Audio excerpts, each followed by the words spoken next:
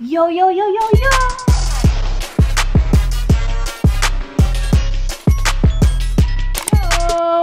What's poppin', guys?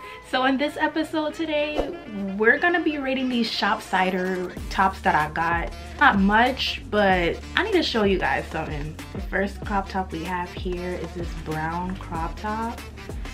It's really cute. It also has a collar. It's giving adorable. Well, if you guys watched my other video, you know I recorded with this crop top. It's a very nice crop top.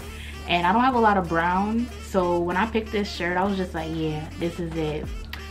So the next top we're going to be talking about is this purple two-piece. It's a two-piece set. It's connected together. It's not separated. And yo, this is, it's really cute. It's giving spring.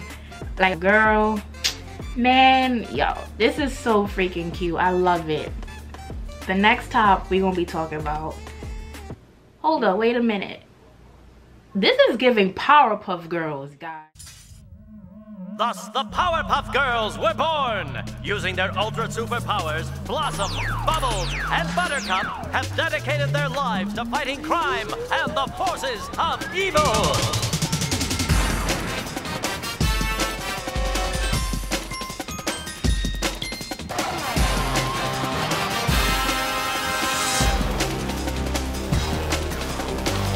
Giving me modern day Powerpuff Girls.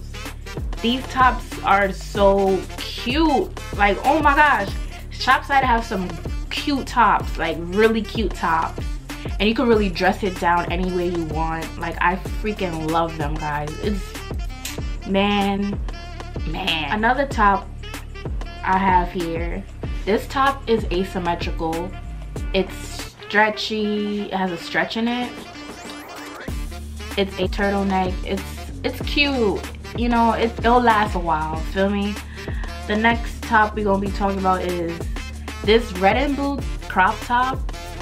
It is giving 90s vibes. I love the red and blue. It's so cute. Like, I love it. This crop top is really dope. I can't wait to dress this down. Oh my gosh follow me on Instagram so you guys can see me dress this down. Coming soon, coming soon. It is a summer top though, so you guys gotta wait a little, but a girl gonna dress that down, alright? And the next top we have here is this, oh my gosh, girl, I know you hot.